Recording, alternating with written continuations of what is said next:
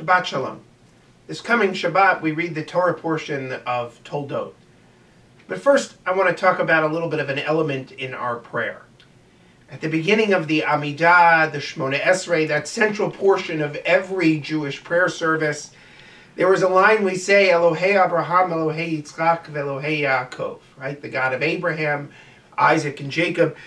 We, in our Siddur, in our community, at times add the imahot, the matriarchs, to this passage in the Amidah.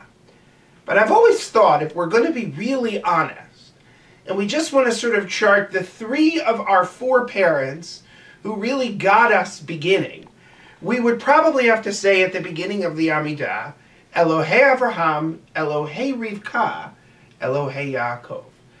If you look at the text, it's Rebecca, not Isaac who really continues the lineage of the Jewish people, who ensures that the Jewish people will come to fruition and that God's blessing for Abraham, for Isaac, for Jacob, and for generations would actually become a reality.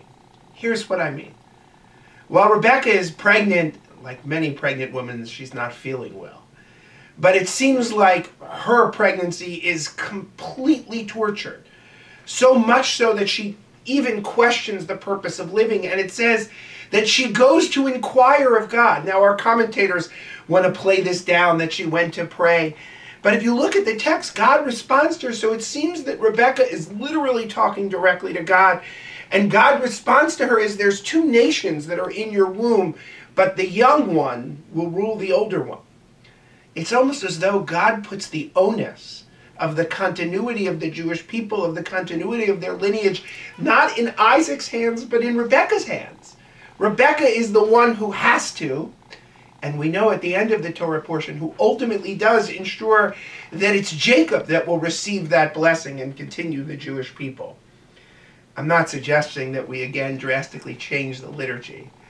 But I think we see in this week's Torah portion just how strong of a figure and a character Rebecca is.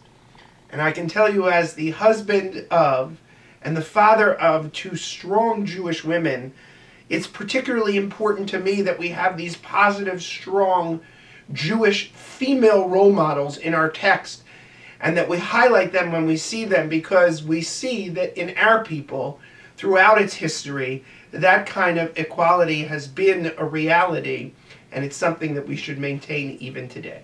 Shabbat Shalom.